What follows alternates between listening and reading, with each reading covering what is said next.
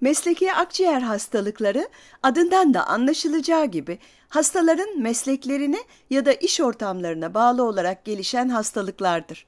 Gelişmiş ülkelerde en sık rastlanan mesleki akciğer hastalığı astımın bir çeşidi olan mesleki astımdır. Evet, en sık rastlanan mesleki akciğer hastalığı mesleki astımdır dedik ya. Bunun mesleki bir hastalık olduğu adından da belli oluyor zaten değil mi? Astım hastalığını daha önce duymuş olduğunuzu düşünüyorum. Mesleki astımı diğer astımlardan ayıran özelliklerden biri mesleki astımın yetişkinlikte ortaya çıkan bir hastalık olması. Hemen yetişkinlikte başlar diye not alıyorum. İkinci olarak mesleki astımın hastaların meslekleriyle bağlantılı olan bir şeyle tetiklendiğini de ekleyeyim. Bu hastalar çoğunlukla hastalık belirtilerini iş yerindeyken gösterirler. Evlerine döndükten birkaç saat sonra ise belirtiler yavaşça kendi kendine kaybolur. Ve hafta sonları ya da tatil günlerinde herhangi bir belirti göstermezler. Bakın burada bir akciğer çizimi görüyorsunuz. Şimdi bu hava yollarından birinin kesitini inceleyeceğiz. Evet, hava yoluna yakından baktığımızı yani gözümüzün burada olduğunu hayal edelim. Buradan baktığımızda buna benzeyen bir şey görürüz. Burası hava yolunun duvarı. Burası da içteki tabaka olsun. Çok iyi çizemedim. Şimdi böyle daha iyi oldu. Merkezdeki bu delik içinden hava geçen ve lümen olarak adlandırılan açıklık. Bu beyaz okunda hava yolunun içinden geçen hava olduğunu düşünelim. Mesleki astımda işle veya iş yeriyle bağlantılı bir tetikleyici etken sonucu hava yolunda bazı değişiklikler meydana gelir.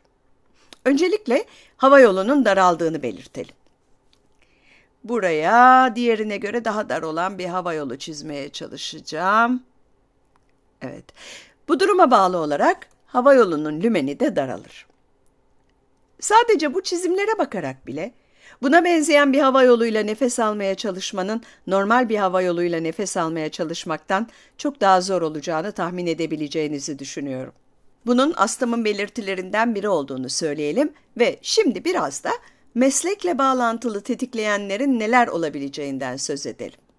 Mesleki astımın bilinen sebeplerinin sayısı 350'den fazladır.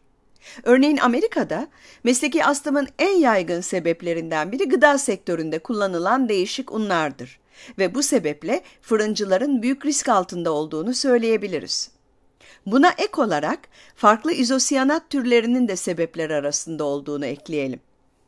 İzosiyanatlar endüstriyel alanlarda çalışanların yani tesisatçıların, çatı tamircilerinin, boyacıların ve izolasyon işinde çalışanların maruz kalabileceği moleküllerdendir.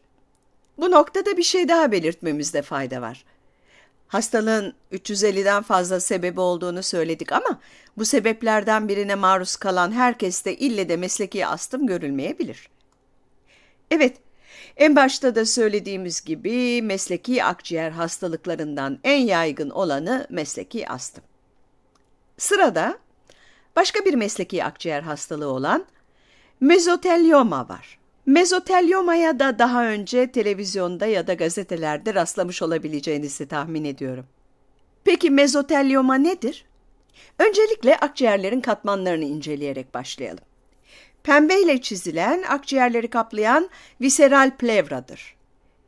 Viseral plevra akciğere en yakın olan katman. Turuncu ile çizilmiş olan katman ise parietal plevra olarak adlandırılır.